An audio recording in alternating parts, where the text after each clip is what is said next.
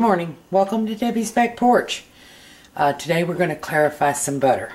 Um, and if you're not familiar with that, I'll do a little explanation. So what is clarified butter? Well, it's really just that.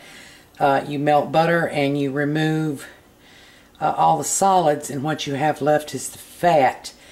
Uh, we've talked about before when you're cooking with butter, uh, butter is one of those fats that's not all fat. It has a fairly high percentage of water and it varies based on how much you pay for the butter usually. Uh, it has whey solids and it has milk solids along with the fat and some water. So butter being a wonderful thing, I cook with it a lot. And most of the time the solids and the water don't make much difference because they cook out during the process uh, or the water cooks out during the process. Uh, but, you know, when you put a stick of butter in a pan and you heat it up, you see all that foam.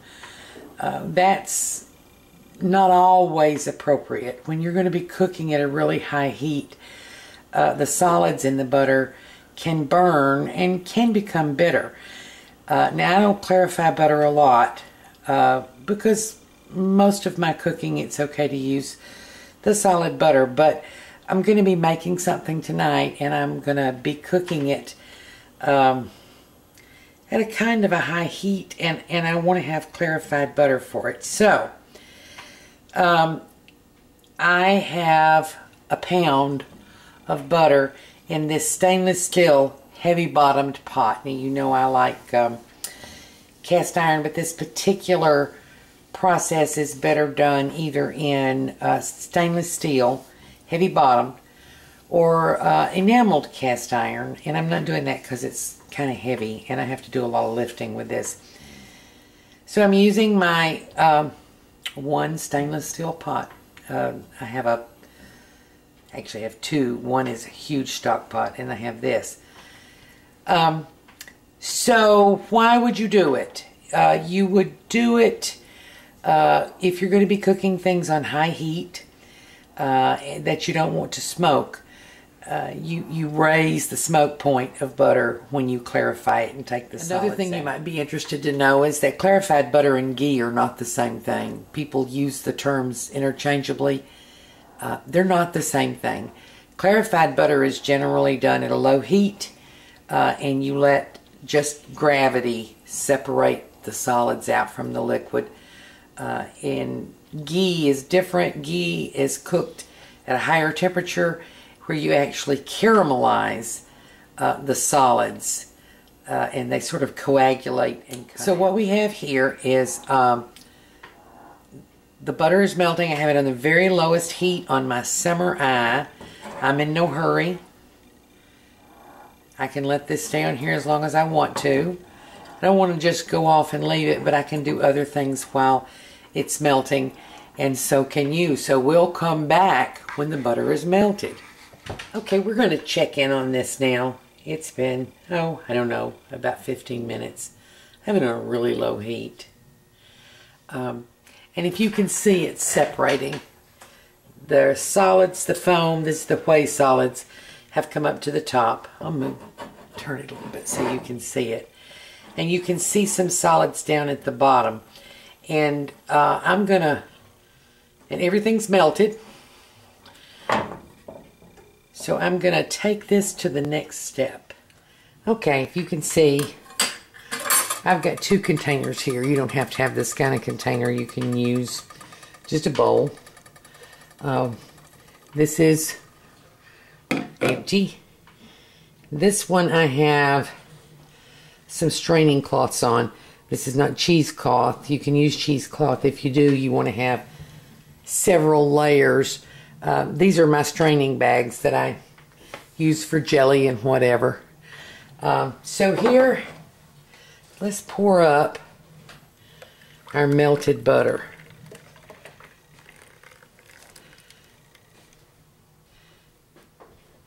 And you can even see in here, there are quite a few of the solids left in there.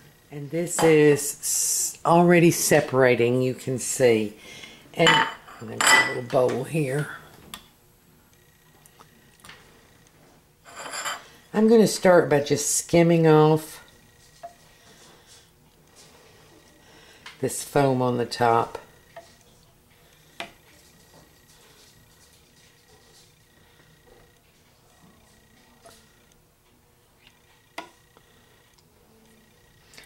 And I'll mention all the directions you find for this are going to say to use unsalted butter. And my confession time here is this is salted butter. Uh, and I usually use salted butter. Lightly salted. Um, if you're baking, that matters. If you're frying and stuff, not so much. Um, the only difference in this process between salted and unsalted is that you don't actually know how much salt is left. Uh, it'll it'll concentrate the salt a little bit in your finished product, but it doesn't interfere with the process itself.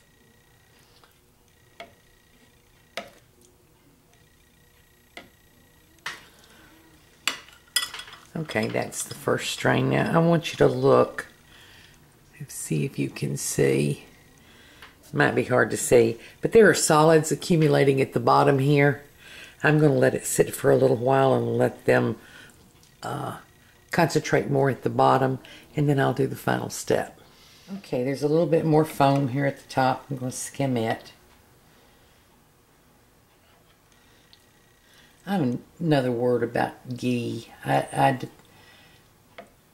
I, I, don't haven't liked the results when I've I've made it with the high heat method. Ghee, making ghee is a high heat method.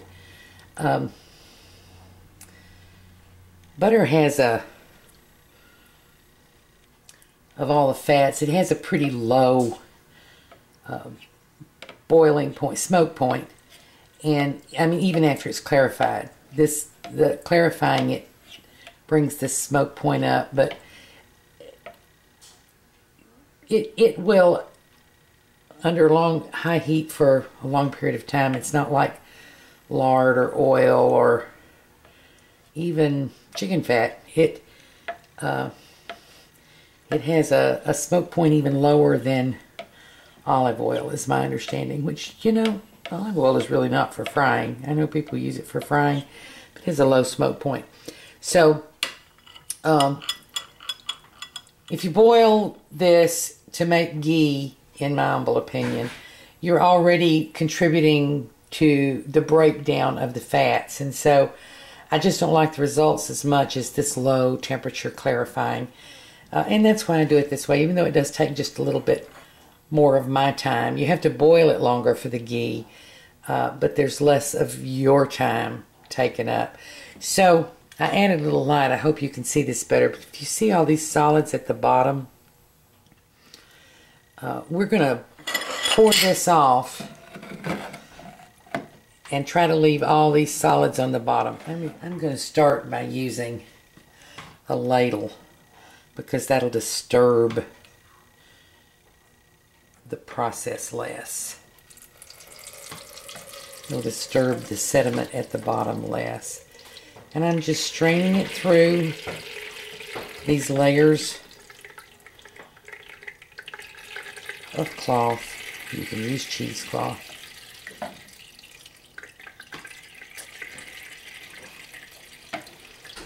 To get out any of the impurities that I couldn't scoop off the top. And I'm going to leave as much as I can at the bottom. See, even being very careful, you get a little bit. That's why I'm straining it.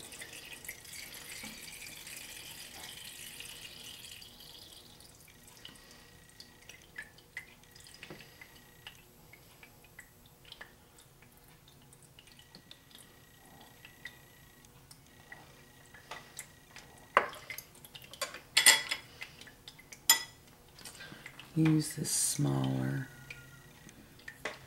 Wipe that.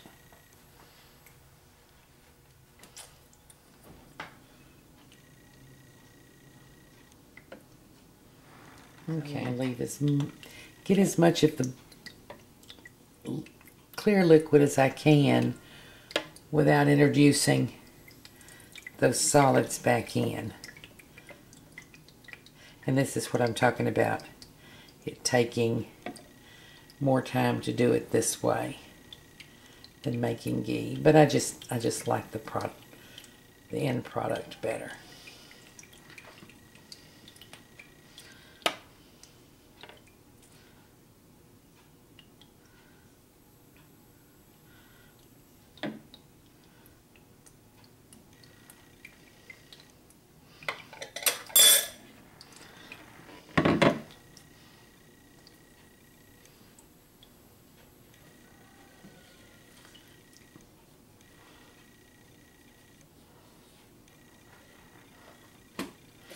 So, so here we have our clarified butter.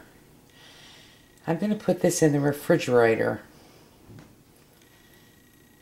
And after a couple of hours of chilling, which I'm, I'm not going to show you, but after a couple hours of chilling, this will solidify again, but it won't be as hard as butter.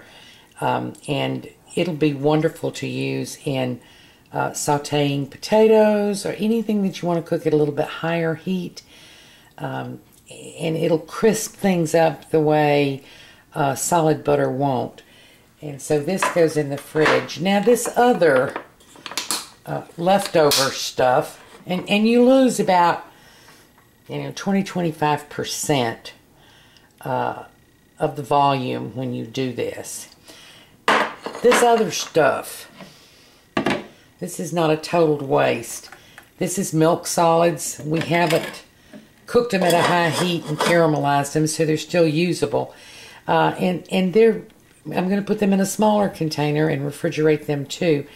And um, I, I'm going to use them to add to like a baked potato, something that's not, that's already cooked. We're just uh, adding it for flavor because it's retained its flavor. But now I did use salted butter, so it's going to be very salty.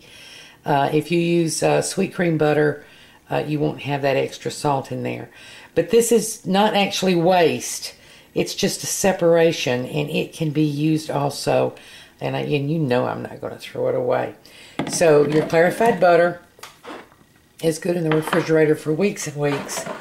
Um, it, it won't last nearly as long as it, uh, it we will use it up long before it will go bad.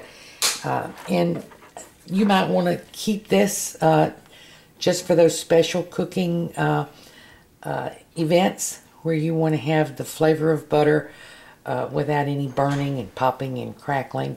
And you might want, and and you may be wanting to use a little bit higher heat. So there you go. That's how to clarify butter.